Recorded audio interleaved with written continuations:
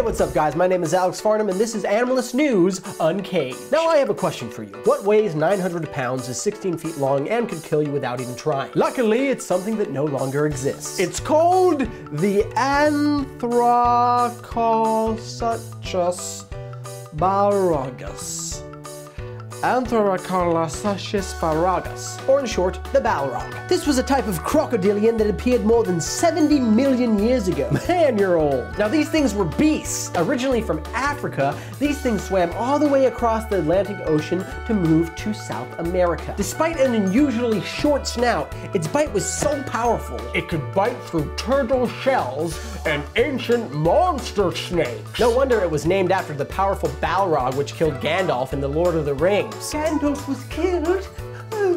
Now, during the mass extinction of the dinosaurs, they were the only ones that were able to survive and adapt to their new environment. By acclimating to a hot freshwater ecosystem, these crocs give scientists clues to how animals can adapt to catastrophes. Because our Earth is continuing to change due to global warming, researchers hope that the Balrog can help them predict how modern day crocodiles will adapt. If you could be any dinosaur, what would you be? Let me know in the comments down below. Don't forget to subscribe, share this with your friends, and I'll see you hairy mammals next time.